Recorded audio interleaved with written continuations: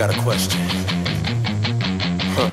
After the show, after the set, after the music stops, what's next? Are we just writing songs?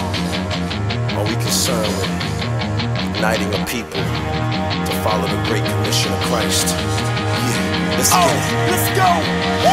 Back in the day, I was a lunch line rapper. After that, I guess I was a punchline rapper. Then I got saved, and sometime after, your boy came back as a frontline rapper. And when I say the front lines, that's not a front line. I'm out here preaching Christ on the front lines. And no, it ain't about rocking stages, cause some of my engagements are out on the pavement. Yeah, I'm out to take the Bible, create disciples who make disciples, disciples cycles. That's why I want the beats to knock. So after the music stops, you can meet the rock. I pray that you would know him well. This is like show and tell. It's more than a show. I'm showing you Emmanuel. So yeah, I'm hoping that you're liking the flow. But it's only so you can know the God I'm writing it for. Let's go. After the show, after the set, after the music stops, what's next?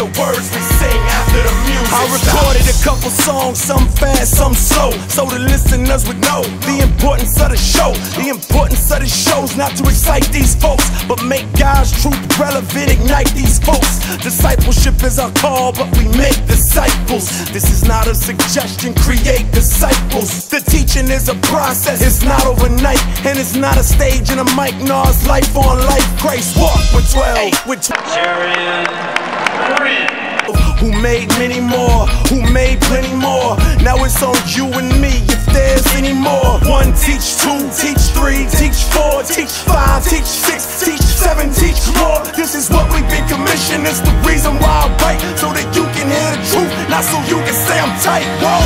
After the show, after the set, after the music stops, what's next? Will there be fellowship, prayer, disciples? Will you open your Bibles after the music stops? After it's over, after it ends, after the music stops, what then? Will you understand that Christ is King, or will you just like the words we sing after the this for the right, the speaker was righteous, and then we might check for a culture who likes the hypeness. Some say we keep it crunk, some say we hype, man. We just wanna pump the resurrection of the Christ, man. We in the burbs and the hoods that's hostile. We share a common view like synoptic gospels, and you know we keep a couple young dudes around us and teach them the same truths God used to ground us. This lifestyle, so when the mic's down, I pray people follow Christ when they turn the lights down. I pray that everybody playing this song will be challenged by everything I had to say in this song. I don't do this for the money, I don't do this for fame, I don't do this so the industry can know my name. I do this in hopes to glorify Yeshua the King. If you're feeling me, you know you should be doing the same. Let's go. After the show, after the set, after the music stops, what's next? Will there be fellowship, prayer, disciples? Will you open your Bibles after the music stops? After it's over, after it ends, after the music stops, what then? Will you understand that Christ is King, or will you just like the words we sing after the music stops?